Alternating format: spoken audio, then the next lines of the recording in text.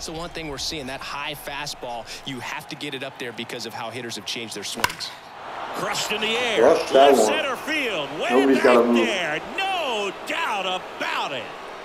Except for us going around the bases. A two-run shot, home run number 35 on the year. And they tack on to their lead. It's 3-0.